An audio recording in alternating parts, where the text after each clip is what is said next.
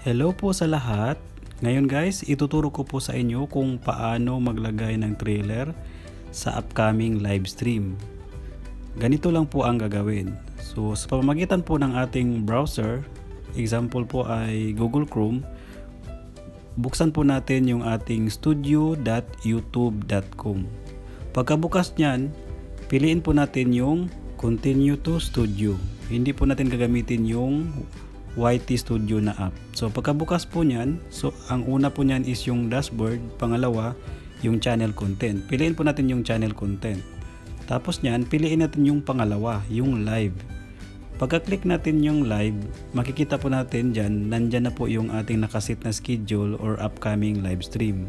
Tapos niyan, i-edit natin. Edit details. Pindutin lang po.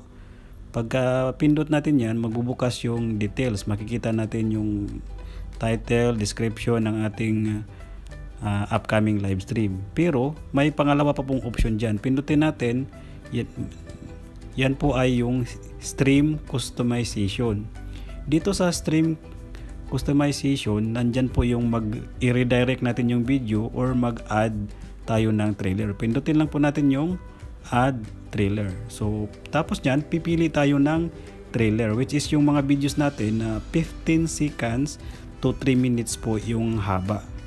So pipili tayo, example, pipiliin ko po itong isa kong tutorial, i-add ko siya as trailer. So andyan na siya. May trailer na po tayong na idagdag. Pagkatapos niyan, huwag po nating kalimutang pindutin yung nasa upper right corner na i-save po natin yung ano yung ating in, ini-edit. Ayan. Save natin.